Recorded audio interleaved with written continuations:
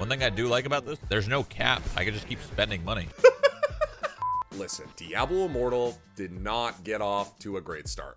Do you guys not have phones? Yeah. But it's finally here, and people are even more pissed. So, if you're not fully aware, Diablo Immortal is a free to play mobile game that also is on PC.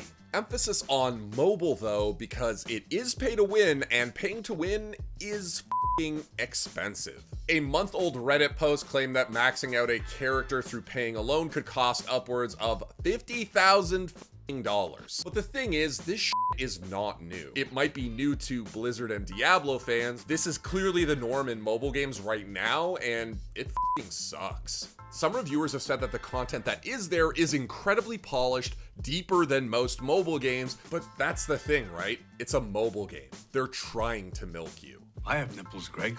Could you milk me?